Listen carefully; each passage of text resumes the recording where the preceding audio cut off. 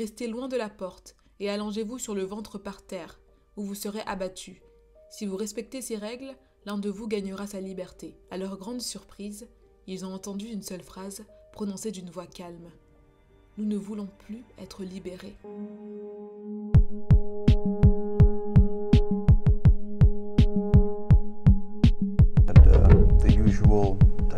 of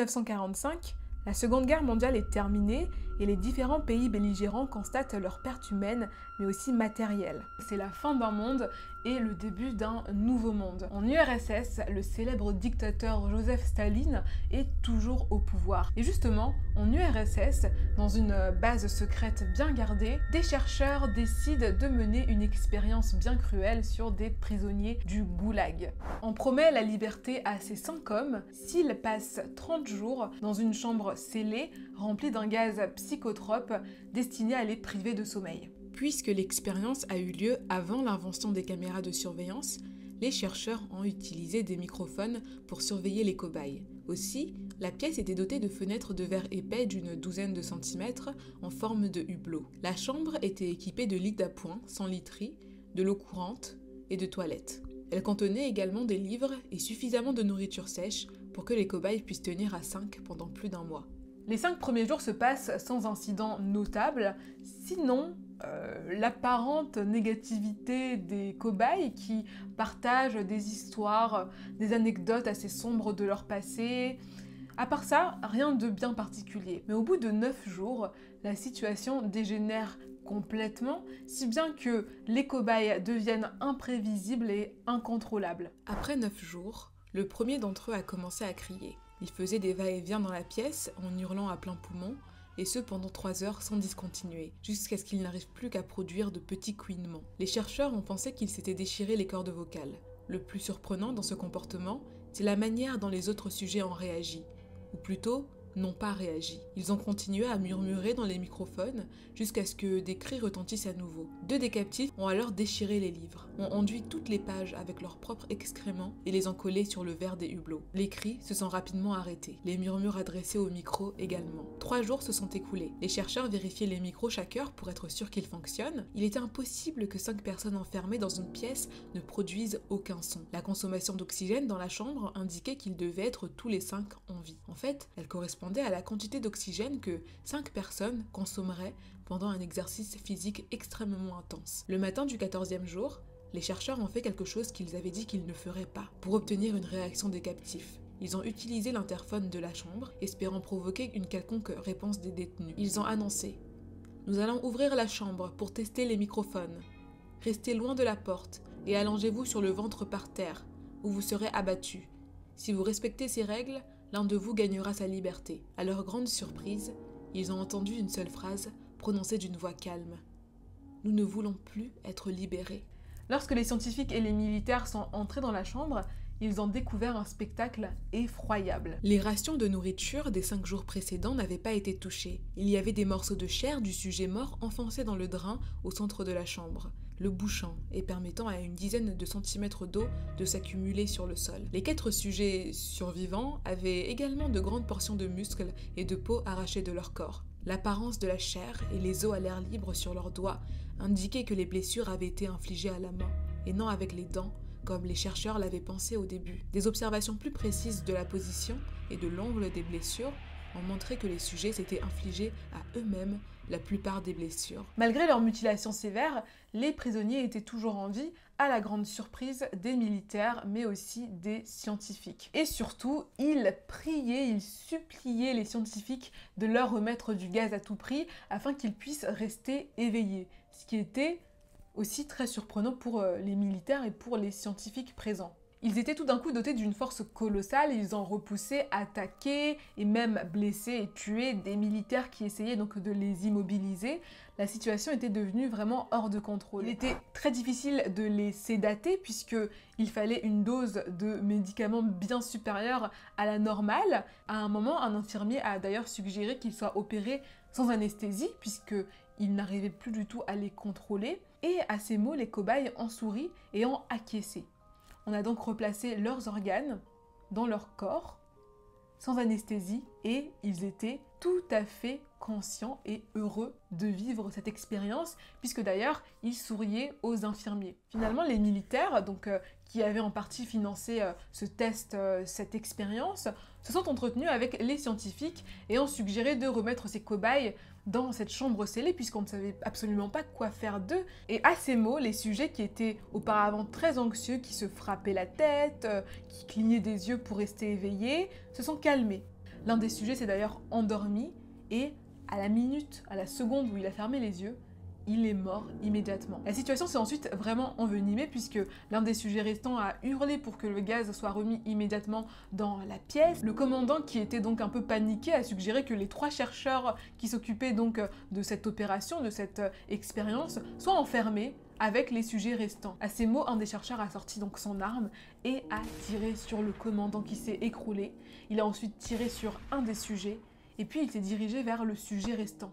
Il a ensuite pointé son arme vers le sujet restant, toujours attaché au lit, tandis que les membres restants de l'équipe médicale et de recherche fuyaient la pièce.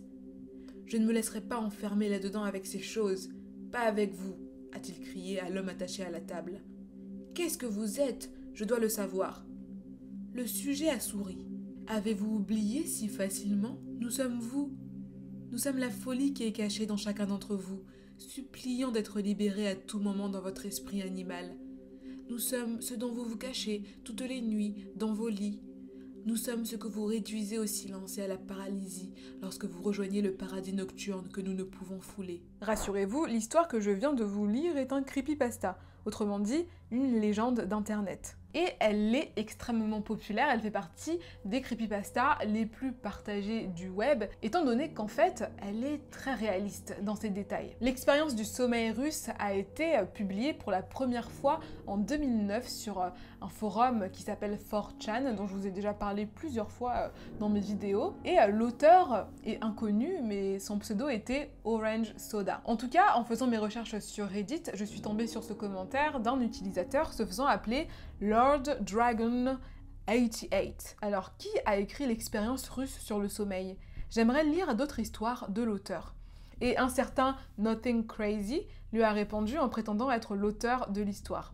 Alors, euh, c'est moi qui l'ai écrit, il y a environ 10 ans, je crois.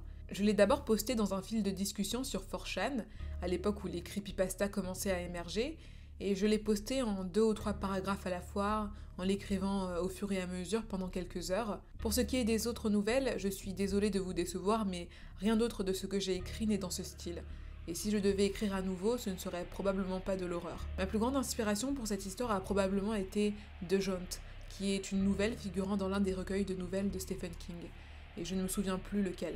Même si la réponse de Nothing Crazy est très crédible, rien n'est certain, rien n'est sûr puisque l'utilisateur n'a apporté aucune preuve de ses dires. En 2017, le site debate.org a demandé à ses utilisateurs s'ils pensaient que l'expérience du sommeil russe pouvait être vraie. Et euh, la plupart des utilisateurs, donc 57% des utilisateurs, ont répondu à cette question à l'affirmative. Et donc les utilisateurs qui ont répondu oui ont avancé cet argument, qui est que bah, le régime de Staline était tout aussi horrible que le régime nazi et que donc il y avait eu certainement euh, des expériences euh, aussi horribles que celles euh, du sommeil. Il est vrai que, en plus, après la Seconde Guerre mondiale, l'URSS possédait un grand nombre de prisonniers politiques et euh, ils auraient pu faire donc euh, des cobayes idéales. Pour commencer, je vais vous révéler toutes les incohérences de cette histoire qui prouvent qu'elle est très certainement fausse. En revanche, un peu plus tard, vous le verrez, je vais vous montrer qu'elle est tout de même vraisemblable. On commence par les instigateurs de l'expérience, euh, qui euh, étaient apparemment l'armée, euh, les services secrets russes. on le comprend parce qu'il est fait mention à un moment d'un commandant ex-agent du KGB. Et là, il y a un gros anachronisme. Pourquoi?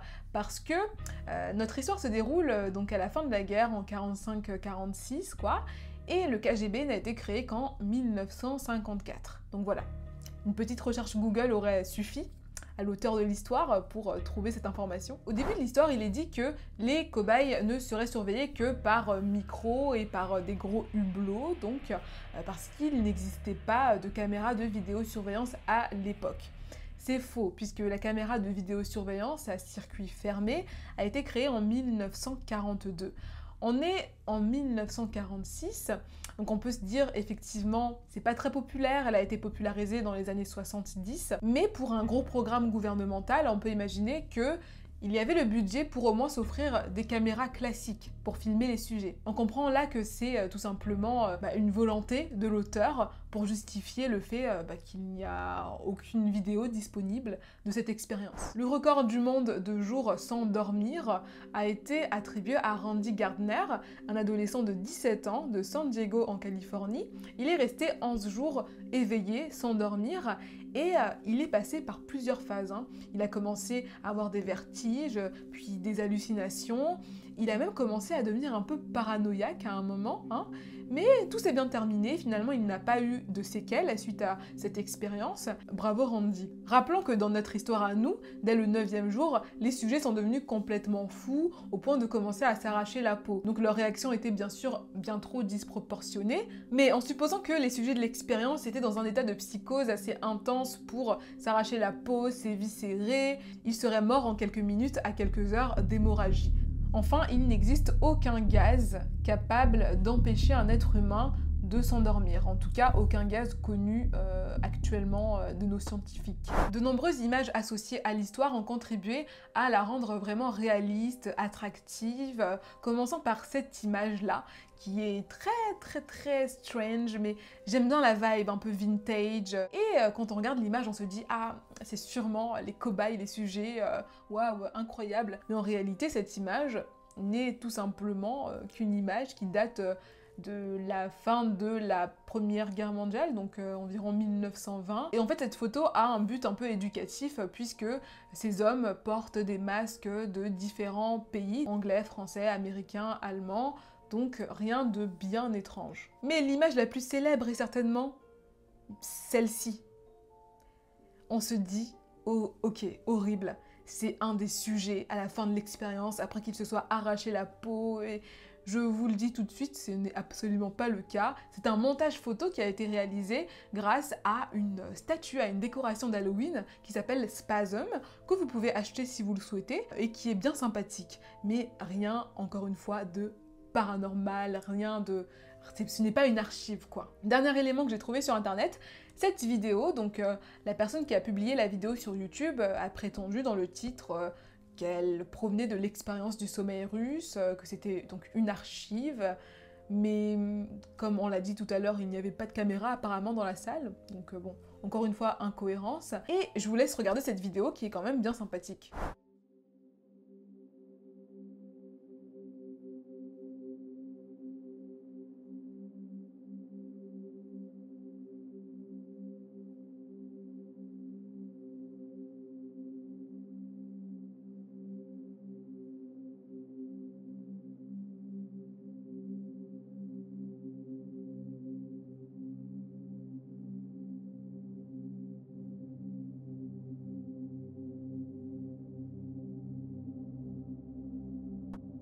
Je tiens à vous rassurer, ces images sont tirées d'un film sorti en 2012, un film anglais qui s'appelle Entity, euh, qui était à petit budget et qui n'est pas très connu. Mais même si notre histoire n'est qu'un creepypasta, l'Union soviétique est connue pour ses expériences scientifiques très peu éthiques euh, depuis le début du XXe siècle jusqu'à son effondrement euh, dans les années 80. Prenons l'exemple du laboratoire des poisons.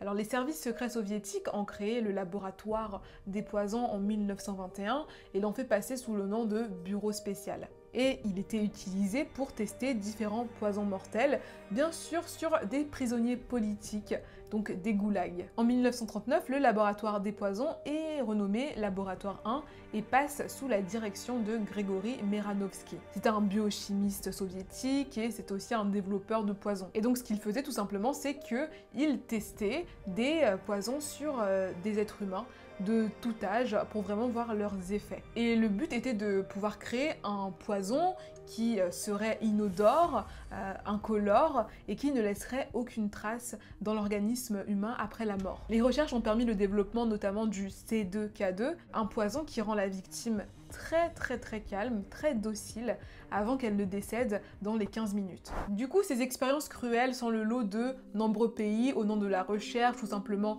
au nom de la cruauté, euh, du pouvoir. Les Japonais aussi sont très forts pour, euh, pour ces expériences-là. Ils ont mené de grandes expériences très cruelles sur les Chinois. Vous pourrez aller voir ça si ça vous intéresse. Je mettrai le lien de la page Wikipédia dans la barre d'infos.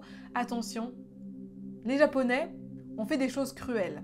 Et finalement, à côté, euh, le Russian Sleep Experiment, donc l'histoire euh, que je viens de vous lire, c'est vraiment de la gnognotte. Voilà les gars, la vidéo est terminée, j'espère vraiment qu'elle vous aura plu. Dites-moi ce que vous en avez pensé dans les commentaires, est-ce que vous connaissiez euh, donc l'expérience du sommeil russe? En tout cas, n'hésitez pas à mettre des petits likes, ça fait toujours plaisir, ça fait toujours du bien à me suivre sur la chaîne si ce n'est pas déjà fait. Et n'hésitez pas aussi, si vous le souhaitez, à me suivre sur mes réseaux sociaux. Je mettrai tous les liens dans la barre d'infos. En tout cas, j'espère que la vidéo vous aura plu. Je vous retrouve très bientôt pour une nouvelle vidéo.